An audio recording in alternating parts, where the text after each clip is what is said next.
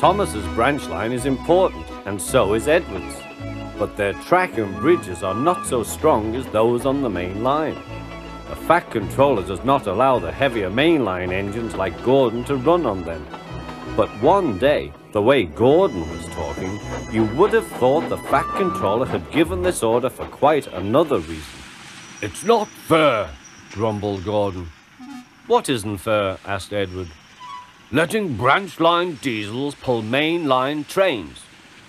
Never mind, Gordon. I'm sure BoCo will let you pull his truck sometime. Gordon spluttered.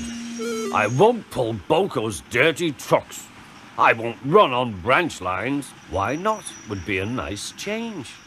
The Fat Controller would never approve, huffed Gordon. Branch lines are vulgar. Gordon puffed away.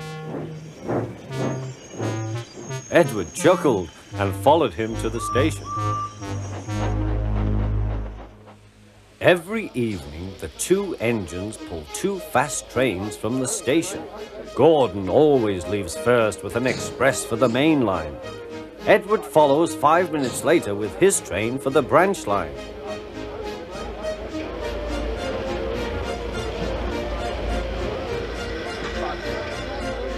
Usually everything runs like clockwork.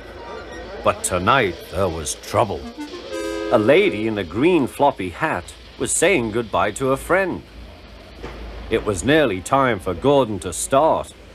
The fireman looked back towards the guard's van and saw something green waving. Right away, mate. He thought the guard had waved his flag. Gordon started, leaving luggage, his passengers and the guard all standing on the platform. Everyone was very surprised and cross.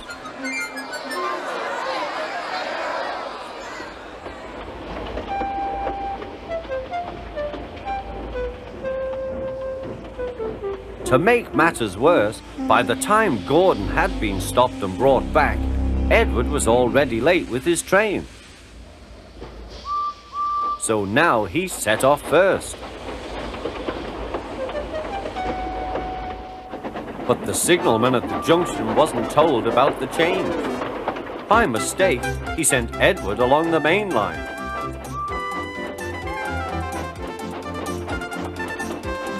Gordon was sent along the branch and arrived cold and cross on one of the sidings near the harbour.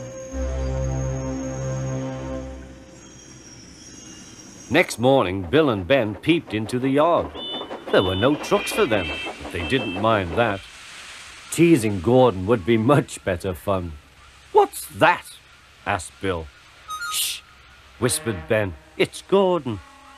It looks like Gordon, but it can't be. Gordon never comes on the branch lines. He thinks them vulgar. Gordon pretended he hadn't heard them. If it isn't Gordon, said Ben, it's just a pile of old iron, which we'd better take to the scrapyard. No, Bill, this lot's useless for scrap. We'll take it to the harbour and dump it in the sea. Gordon was alarmed. I am Gordon. Stop, stop!